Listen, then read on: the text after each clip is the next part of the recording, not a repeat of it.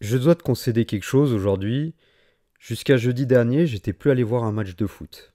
Pourquoi? Bah tout simplement parce qu'il y a deux ans, j'étais à Geoffroy Guichard pour assister au match le plus terrible de ma vie de supporter. Je parle bien évidemment de la défaite au tir au but contre Auxerre, cette défaite qui a envoyé Saint-Étienne en deuxième division. C'est un souvenir vraiment terrible et je me souviens encore de l'ambiance lourde qui régnait dans le stade dès la première minute de jeu. C'est comme si on savait déjà tous que c'était mort et qu'un chemin de croix nous attendait. Mais c'est dorénavant du passé, et d'ailleurs ces échecs sont indispensables pour apprécier aujourd'hui l'exploit monumental qui a été réalisé par l'équipe ces derniers mois. Un exploit sportif qui nous rappelle aussi toutes les valeurs du peuple vert, cette couleur verte, symbole de l'espoir et de la vie éternelle. Et même si les temps furent difficiles pour nous les supporters stéphanois, que les doutes furent nombreux, il y a toujours eu la lueur d'espoir. Et comme j'ai l'habitude de dire, et d'emprunter les mots de Diogène le cynique, l'espoir, c'est la dernière chose qui meurt. Et nous en avons eu encore une fois une démonstration ce week-end. Alors j'aimerais faire une rétrospective sur cette saison de Saint-Etienne.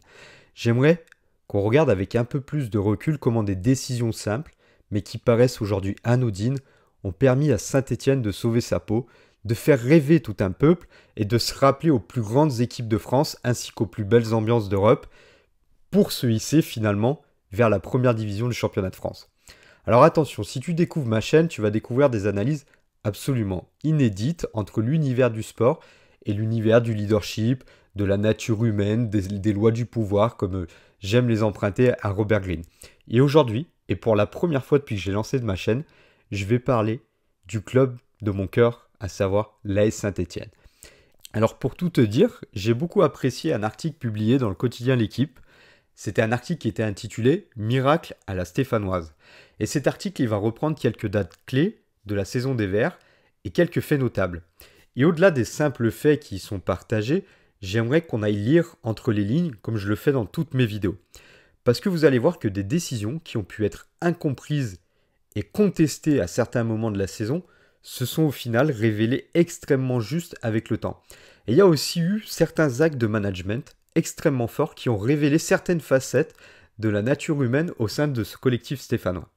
Alors reste bien jusqu'au bout de cette vidéo parce que même si tu t'intéresses pas à la Saint-Etienne, même si tu t'intéresses pas au football, tu vas y découvrir des choses extrêmement intéressantes que tu vas pouvoir réemployer dans ton quotidien. Alors je vais commencer par le mercato hivernal et le départ de Gaëtan Charbonnier vers Bastia.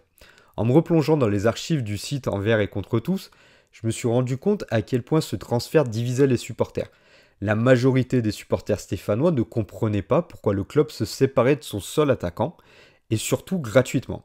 Certains disaient même que Charbot allait renforcer un adversaire direct pour une potentielle montée.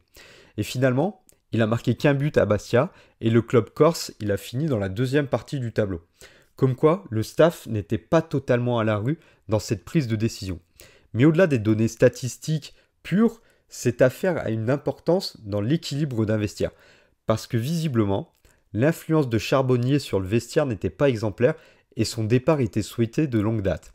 Et le nouveau coach de Saint-Étienne a eu le mérite de lui dire les choses clairement et de le pousser vers la sortie.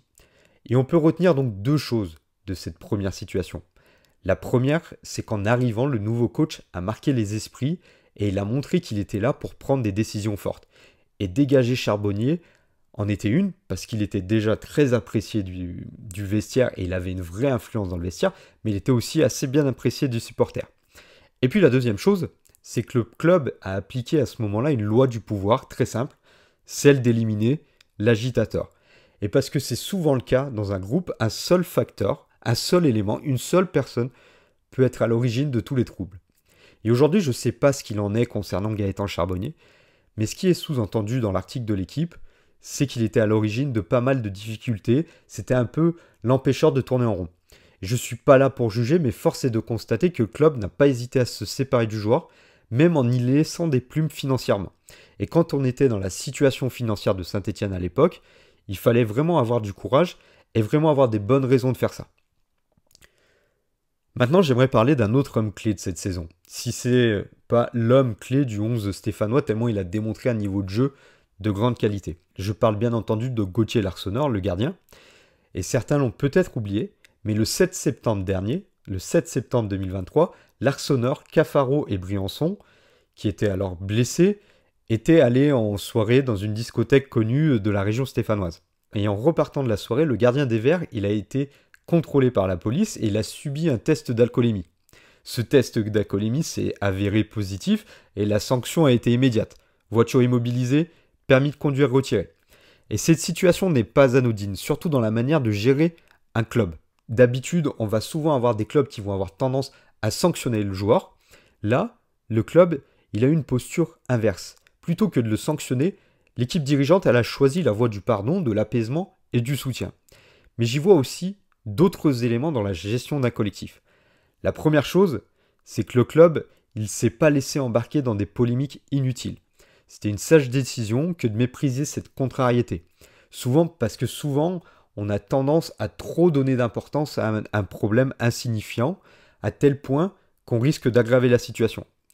Et j'y vois aussi une dimension un peu plus psychologique, une dimension plus profonde que le club a pu créer avec le joueur à ce moment-là. Parce que, à mes yeux, en ne sanctionnant pas l'arseneur, le club a créé une forme de dette morale et sociale auprès de son gardien. Et s'agissant d'un homme de valeur, Gauthier Larsenal, ça a dû probablement avoir un impact positif quant à sa loyauté et son engagement vis-à-vis du club. Et puis pour conclure, le club est également resté à sa place, laissant la justice faire son travail, sans chercher à venir alourdir une situation déjà complexe. Alors après ces deux situations individuelles qui montrent un peu l'état d'esprit, la manière de gérer le club et la manière de gérer les joueurs, je vais me concentrer un peu plus sur le collectif, et notamment sur la méthode de Dalloglio. Avec le recul, je vois à quel point il a su jouer sur le mental de certains joueurs.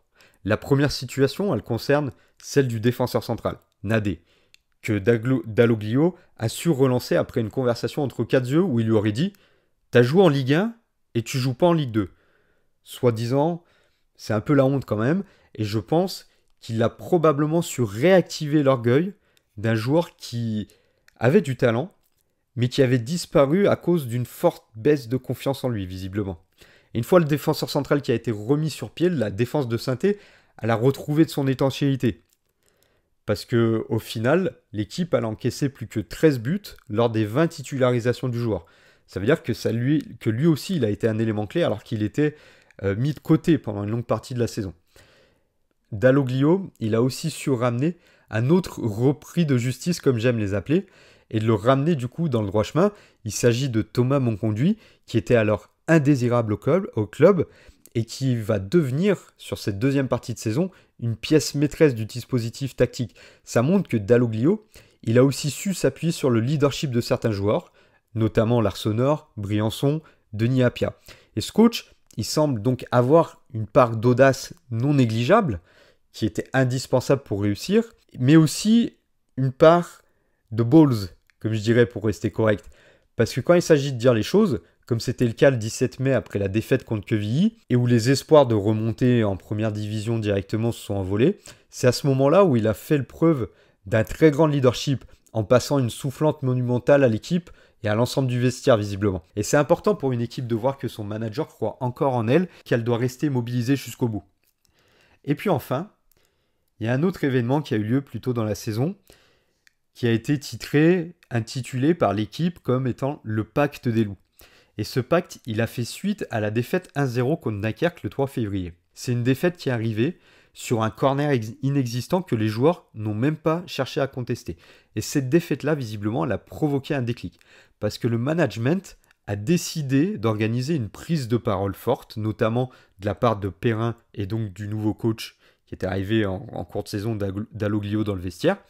Et les joueurs ont été convoqués dans la salle de vidéo de l'ETRA, le centre d'entraînement de Saint-Etienne, dès le lendemain de la défaite. Et à ce moment-là, il y a eu un analyste du centre de formation qui leur a montré, image à l'appui, le laisser-aller qu'ils avaient pendant le match sur les animations offensives et défensives. Et à ce moment-là, il y a des leaders qui se sont révélés et qui ont pris cette euh, analyse et cette réunion comme d'un électrochoc. Et les, joueurs, ils ont décidé d'enfin s'approprier l'objectif vital de remonter en première division. Et il en est allé aussi de leur intérêt personnel, puisque certains de ces joueurs arrivaient en fin de contrat, notamment Chambaud, notamment Mouefek, notamment Nadé. Et d'autres qui ont été recrutés après la relégation, ils pouvaient bénéficier d'une clause d'un an supplémentaire en cas de montée.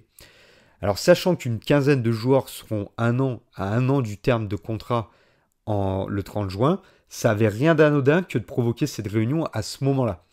Et puis soudainement, les joueurs ils se sont transformés en de véritables loups et ils ont vraiment dévoré tout sur leur passage. La suite, on la connaît, avec une saison à 10 victoires sur 15 matchs et cette victoire dans les barrages Côte-Metz. Comme quoi, et là aussi, c'est une nouvelle loi du pouvoir qui a été respectée, c'était celle de miser sur les intérêts personnels des joueurs. Et puis en bonus, il y a une autre chose que je pense qui est arrivée grâce à la plus grande force de la Saint-Etienne. Et là, je parle bien évidemment du public vert auquel j'appartiens. Je pense qu'au fil des matchs, et de l'espoir qui semblait renaître dans les gradins, les joueurs se sont rendus compte qu'ils pouvaient réaliser quelque chose de vraiment immense, quelque chose d'une valeur vraiment inestimable. Et je parle bien entendu d'écrire une page mythique de l'un des plus grands clubs de football français. Ils avaient l'opportunité, une opportunité unique de le faire. Je pense notamment à des joueurs comme euh, Petro, le natif de Firmini, qui est une petite ville à côté de Saint-Étienne, ou aux déclarations de Cafaro, qui a dit qu'il pourrait raconter cette remontée à ses enfants et même à ses petits-enfants. Et ça, sincèrement, c'est pas donné à tout le monde, et surtout pas à des joueurs de seconde division. Ils ont su écrire la légende et ils ont su rentrer dans la légende. Et je pense que ça, c'est le dernier élément qui a joué dans l'état d'esprit, dans le mental et dans la volonté de ces joueurs d'aller chercher le sommet et donc d'entrer dans l'histoire. Je resterai là pour cette vidéo sur euh, l'AS Saint-Etienne. Comme tu le vois dans mes vidéos, je pars de situations particulières pour prendre de la hauteur, en tirer des conclusions et pouvoir s'en aspirer dans notre quotidien. Si tu as apprécié mon contenu, je te remercie. Je t'invite à liker cette vidéo, à surtout la partager et puis bien sûr, abonne-toi à la chaîne, ça me donnera beaucoup de force. Tous les cas, si tu allais jusqu'au bout de cette vidéo, je te remercie vraiment et je te souhaite une très belle fin de journée. Et allez les verts